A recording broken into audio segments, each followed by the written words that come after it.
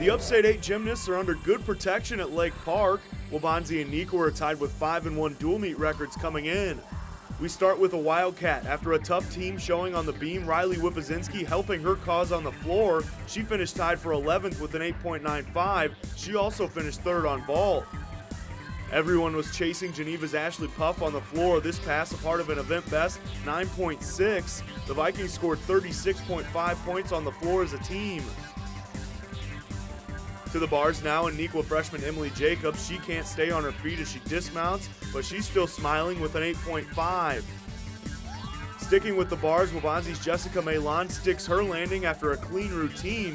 She's your bars conference champ with a 9.45. To the vault and Malon's teammate Elizabeth Brandenburg, the Yurchenko Pike, second with a 9.35. She also finished second in the all around, and the Warriors had their highest team score of the season.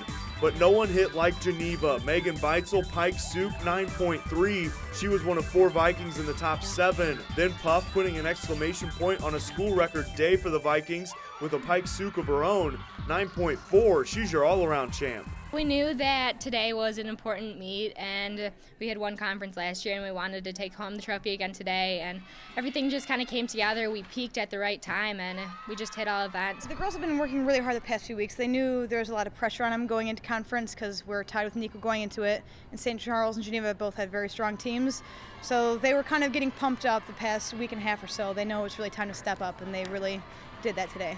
Well, a lot of them are not used to the big events because they either are they're really young freshmen or they're not. They haven't competed in other times, but they were they did a really good job getting used to it, and they really stepped up and like showed us that they have what it takes to compete at such a big event.